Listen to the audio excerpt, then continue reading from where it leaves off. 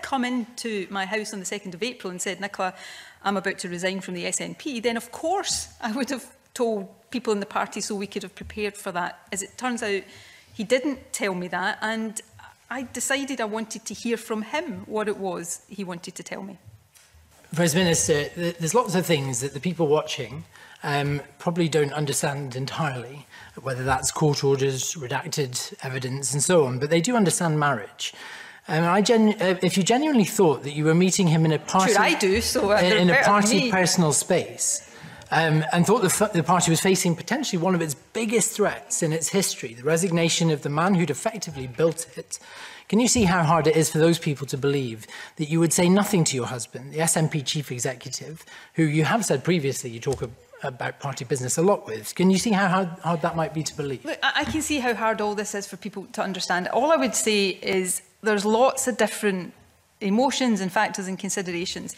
Um, I had been given the impression by Jeff resignation was a